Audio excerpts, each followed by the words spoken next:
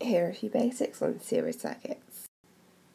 So, you can recognise a series circuit from parallel circuit because in a series circuit you're going to be able to run your finger all the way around. Everything is in one continuous line, everything is in series. Here we have a series circuit with a number of different components in. Now the really important thing you need to remember about an ammeter is that it needs to be in series. It needs to be lined up next to things. This is different to a voltmeter, which I have over here, which need to be put across a component in parallel.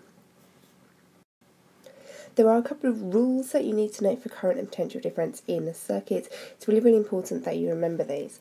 I have a, a really nice worksheet for a lesson where I use a program called PhET's, which is from the University of Colorado, to, to help you work this out. I'm going to put a link to the PhET um, site down in the description. It's a fantastic site. You should definitely go and have a look at it and play around with it.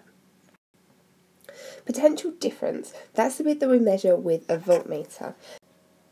Now if we measure the potential difference across each one of these lamps and found them to be 1.5 volts each, the potential difference across the battery would be 4.5 volts because the potential difference total is equal to the sum of all of the different potential differences across the components. It is sum.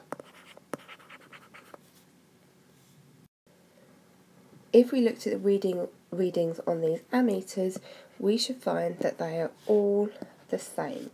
Ammeters in um, a series circuit, the current in a series circuit is always going to be the same.